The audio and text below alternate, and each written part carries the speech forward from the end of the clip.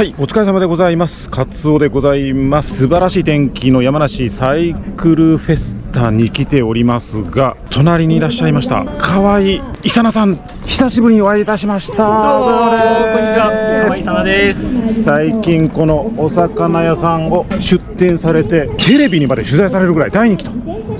今乗りに乗ってる、はい、乗りに乗ってるその河合伊佐奈さんが乗っていらっしゃるラピエ今日の青空にものすごい映える赤という感じですね。今日はご紹介していただけたらと思います。ありがとうございます。何年乗ってらっしゃる感じですか？このエアコードにしてからうん。だいたい3年ぐらいですかね、3年ぐらい。あその前もやラピエールだったんですその前はラピエールのゼリウスっていうこれ2015年モデルなんですけどほう。2015年ののゼリウスアルティメイトっていうはあじゃのに乗ってました。あラピエールは2代目と。エアコードの中のあの一番上のモデルエアコードあアルティメイトっていうハイエンド系のはい。フレームになると、エアロフレーム系にそうですね。なる感じですか、ラピエールがエアロフレームを出した初めてのまあモデルあ。ということで。そうなんですね。ここのちょっと段差があるのがはあ。このこの辺がなんかまたチューブのこのなんかカムテール形状はいはい。結構まあ僕が気に入ってるとこで。本当にねおしゃれなそうなんねかフランスフランスのね感じがいたしますねでチョップチューブがこのようになっていらっしゃってここにラピエールの LP というマークがね入っていると。それからハンドル周りお願いしたいと思いますが。ちょっとこだわりとしてはこだわりは？レース系のバイクんってやっぱここのこことここのやっぱなんかこう落差差ががですよね。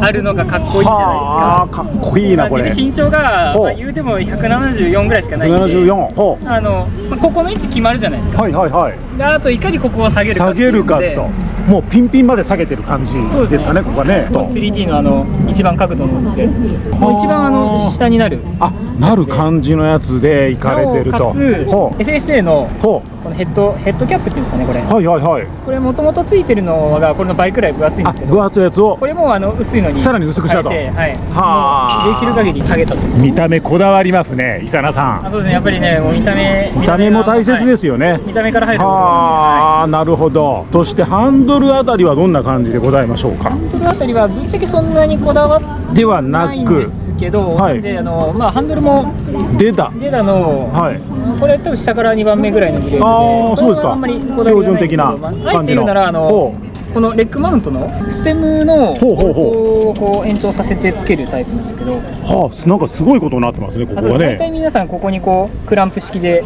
つけますよねここはがちょっとごちゃごちゃするのが嫌だったからああーなるほど、まあ、とか言いつつもこのライトのあれがついてる。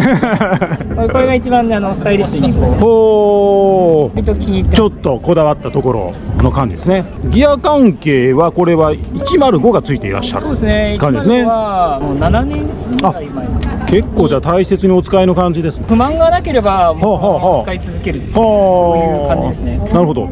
それからブラケットカバーあーこれシェイクスほこれシェイクスにした理由としてはう。ほ7年使ってたらほう。こうゴムが劣化してもううビロビロに剥がれちゃったんですねはあなるほど。ということで、まあ、変えるっていう時にたまたまちょっとお値打ちなのがあったんでほうほもともとあのー黄色い自転車うはいはい。を作るというか乗りたいってほうほうほういう。あのちょっと願望があるのでちょっと黄色の差し色で黄色のヘルメットそれから黄色の料理人と、はい。黄色でいってますね差し色がね。一応靴も黄色いの実は。靴もちょっと黄色がちょっとだけ入ってるじゃないですか。これ実はあの穴開けてる。穴開けて靴下か。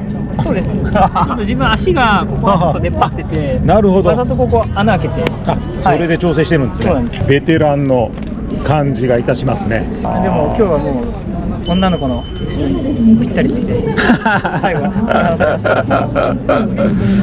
って。それからタイヤはコンペティションっていう。コンペティション。これはそこそこいいやつなんですね。チューブラーですね。あチューブラチューブラのちょっと一番いいやつになるんです軽いんですかねだいぶ。これ25あ軽さもありですかますしほうほうほう。グリップもすごく。グリップがなんか良さそうですねこれね。25なんですけど。25ですか。それからフルクラムの。そうですねレーシングスピード。これちょっと古いモデルレーシングスピード。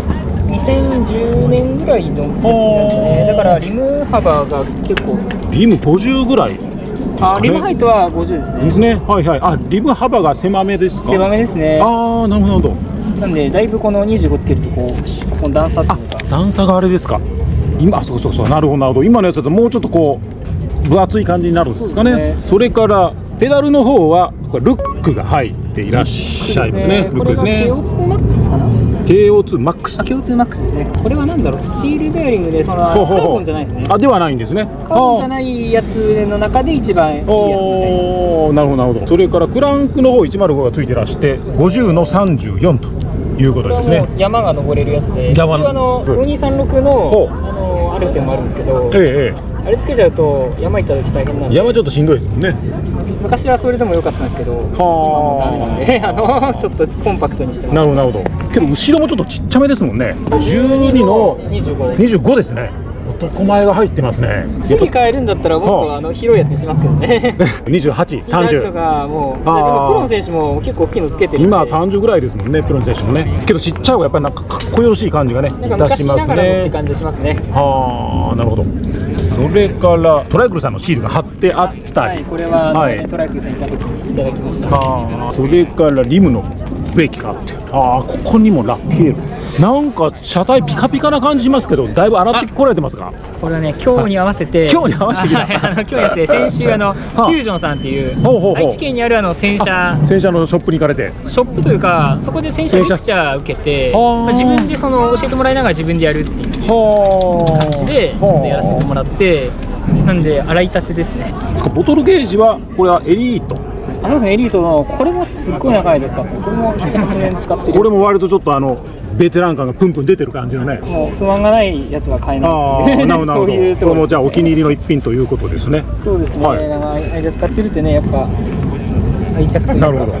K イサナジャパンマーク、なんか日本代表みたいな感じがいたしますけど、やっぱりプロプロ選手に憧れるじゃないですか。ああなるほどなんかいい感じのところにいいいい感じで入ってますねありがとうございます。ね愛知県の瀬戸信濃サイクルさんのところでちょっと依頼して、あカッティングシートではないですけど貼ってるんですよ。うあ貼ってるんですねそうですよほうなるほど触るとちょっとデコボコしてるんですけど。あーそれからサドルの方はどんな感じでございますか？あ、サドはいルだけはすごいいいのが入ってて。あこれはいいやつですか？かなりこだわった、ねプロロゴのプロロゴのカーボンレールそう。スクラッチ N5 のカーボン。ちょっとお触りよろしゅうございますか？ちょよろしいですか、はい。比較的柔らかい感じがそうですね。いたしますけど。すごいあのほうほうほう。塗り心地はいいです、ね。乗り心地も良くてこれ点数つけると何点ぐらいですか？90点いってますね。はあなるほど。自分も結構サドルはいろいろ試してあて。沼にはまったけど。プロロゴが結構好きで、名古屋ボっていうのを使って。らして。でこう穴開いてなかったんですよ。ええええそしたらやっぱりねほこう大事なところがちょっとえ大事なところのお加減が、はい。おかげがよろしくよろしくなくて。なくなっちゃってそうと思ってる時にスペシャライズがパワーっていうのああ出しましたね。えここ開いてて、ええしかもショートノーズで、えええあこれええんちゃうと思ってえほ変えたんですよ。でその時はあめっちゃええなと思ったんですけどでもやっぱどうしても100キロ超えのライドするときに不具合が出てくるっていう時にほうほう。なんとこのプロローさんがこのスクラッチのこれががいいと。このショートノイズが出た時にあこれだと思ってなるほど。全然古さはみじんも感じないですね。マジでね。めっちゃかっこいいわこれは。ラピエールとかルックとかって、はまあ、タイムもですけど古いモデルでも今使ってても全然ねあのかっこいいなっていうのあいいでですね。飽きが来ないですね。飽きが来ないですね。はあ素敵なバイクのご紹介でございました伊佐野さん冒頭申し上げましたけども一宮で魚屋さんを開業していらっしゃいますので、連日大人気でございますのでぜひお近くの方は足を伸ばしていただけたらと思います。はいありがとうございます。じゃあ伊佐野さん素敵なバイクのご紹介誠にありがとうございました。こちらこそありがとうございまありがとうございました。すいません。ご視聴誠にありがとうございました。チャンネル登録とグッドボタンよろしくお願い申し上げます。